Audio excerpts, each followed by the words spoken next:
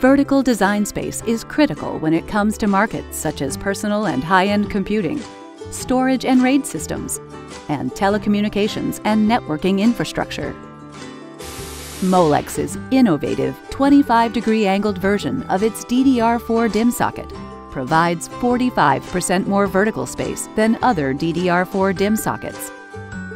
Additional highlights of the Molex angled DDR4 DIMM sockets include lower current usage per terminal for greater energy savings, a metal reinforced latch tower housing that prevents separation of the tower bridge due to wear and tear, and anti-stubbing mating contacts that provide a smooth module lead-in and contact grip during insertion.